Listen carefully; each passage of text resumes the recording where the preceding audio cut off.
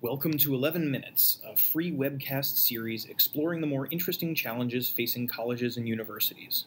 11 Minutes is offered by Acrobatiq, a Carnegie Mellon University company that partners with educators to improve online learning. I'm Hal Turner, and I'm the Director of Customer Support at Acrobatiq. Today, higher ed expert Dr. Keith Hampson offers a primer on learning analytics and will help you to start thinking about how it might improve student performance and retention, uncover student needs, and enable your institution to boost positive results. Please feel free to post your questions as we progress, and we will address them in order.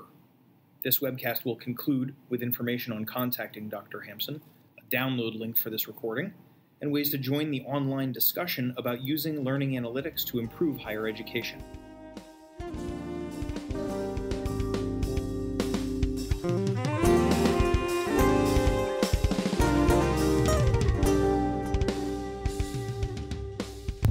Thank you for joining us. Several experts and organizations have identified learning analytics as one of the key developments in higher education. But what analytics does and doesn't involve, its purposes, mechanics, and so forth, is often unclear. Partly because a common language has not yet emerged, and partly because the possibilities for creating and using learning analytics are so wide open to creative application Therefore, we thought it would be helpful to provide a quick overview of the subject for those that are relatively new to it, and we'll touch on a few of its key elements. Now, in an 11 minute webcast, we'll obviously leave much out. But at the end of this, we've included some resources that will allow you to dig as deep as you want into the subject. Let's start with a definition. According to the First International Conference on Learning Analytics and Knowledge, the practice involves the measurement, collection, analysis, and reporting of data about learners and their contexts for purposes of understanding and optimizing learning and the environment in which it occurs. In simpler language, it's about capturing the right data, reporting data, analyzing the data, and we would add being prepared to act on the data, turning the information into action, using it to improve the student experience and outcomes. The underlying assumptions of this work are plain to see. First, that more and better information in the hands of the educator, the student, and the institution about a student's learning strengths, preferences, and needs will lead to a more successful educational experience. And second, that technology is going to make this process of capturing and manipulating data scalable, affordable, and ultimately better. So, as learning analytics is ultimately about the measurement of learning, it's important to underline just how central this is to the mission of higher education. While higher ed serves many functions, indeed, the diversity of its functions is one of its greatest challenges, high quality measurement of learning is fundamental, as the institution serves as a gatekeeper. It's an officially sanctioned mechanism for the distribution of publicly recognized credentials. And I strongly suspect thoughtful and sophisticated measurement of learning will become increasingly central to the institution in the near term as student movement between institutions increases, as the backgrounds of students continue to diversify, as the volume of learning that occurs outside of formal institutions continues to expand, and of course, as the pressure for greater value continues to unfold. Let's now break learning analytics down to its basic components. Malcolm Brown's work here is particularly useful. He divides the types of information that we're collecting into two very broad categories. First of all, dispositional indicators. This is essentially a learner profile. Information about the learner can be pulled from registration records, the learner's educational history, current GPA, demographic information such as age and sex, and so forth. You can also include information from self evaluations done by the learner. The hope here is that the information about the learner beyond what they do in a particular course will help us serve and support that student better. The second category is activity and performance indicators. This is what a student does in the process of learning. It's the digital breadcrumbs that students leave behind while interacting with instructional media, activities, and other learners. This is typically captured within a learning management system, Mm, but on other platforms as well, such as ebook readers. Indicators captured can include, for example, the number of times a student has logged into the learning management system, the amount of time spent on the course website, the number of discussion posts, completed quizzes. It's important to point out, and I'll revisit this again in a few minutes, that this kind of information, the number of discussion posts, for example, does not necessarily provide us with much insight into what the student is learning or not. It may be best characterized as capturing student activity rather than student learning. These indicators are then turned into reports, often in the form of visualizations, that make interpreting data easier and lead to new insights. But like anything else, the value of what comes from this is dependent on what goes into it. The question then becomes what do we do with the information? Brown divides this into two camps automated responses and semi automated. Automated responses, obviously, are generated by the application itself according to a script. If, for example, a student spends increasingly less time in a course, we can program the application to send an alert to the instructor or student or both. A semi automated response, on the other hand, provides the instructor or the support staff, typically, with information about the student's activity, but leaves the type of intervention up to them. Within these simple components I've described, there are a vast number of choices to be made about how best to design and deploy learning analytics. There's an opportunity here to design a system that truly aligns with your particular institution's objectives. Much of what I've described thus far has promise and will add value. But these efforts don't always provide us with a true sense of what learning is actually taking place. Much of what is currently understood as learning analytics offers merely proxies for learning, rather than actual evidence of learning.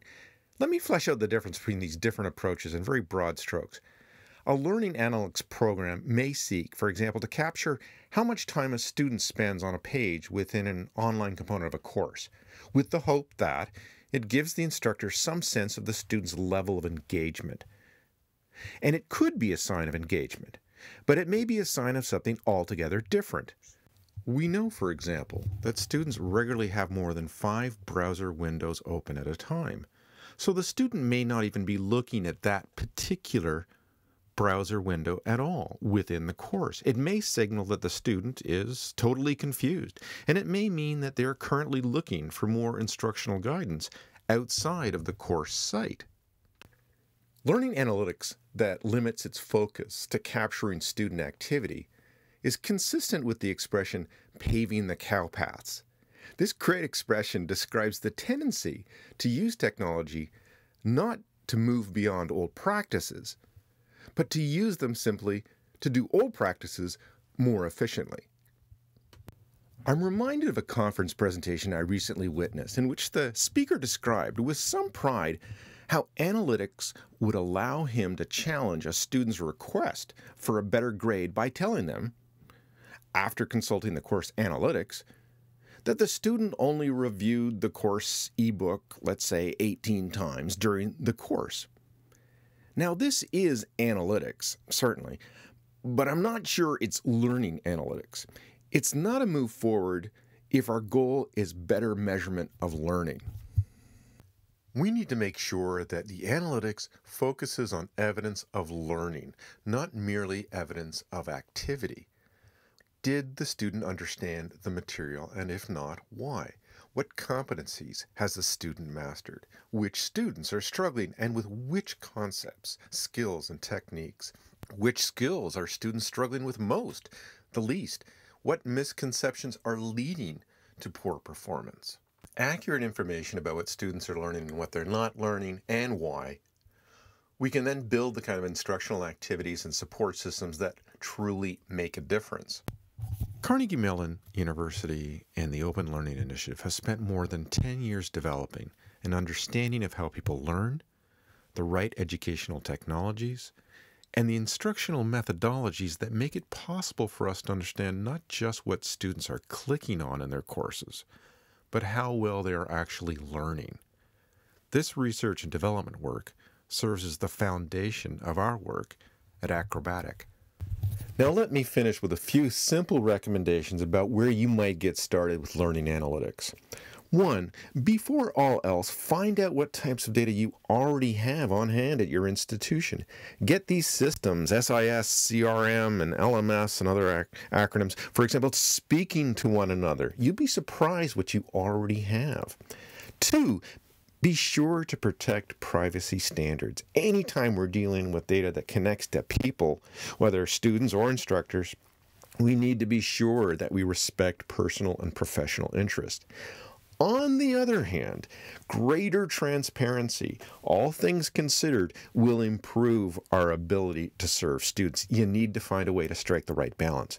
Three, you'll find that as your institution digs deeper into learning analytics, that you invariably find yourselves debating what it is that the students should actually be learning. This is to be expected, and it's an excellent byproduct of developing better measurement of learning. Four, make a commitment to actually use the information. It is not that difficult to generate more information in our colleges and universities. It's something that we do pretty well. Putting it to use is more difficult, and it's ultimately where the rubber hits the road. Five, if your institution, like most institutions, draws resources from external providers such as textbook companies, be prepared to ask them some tough questions about how their materials and services support your institution's need to better measure learning.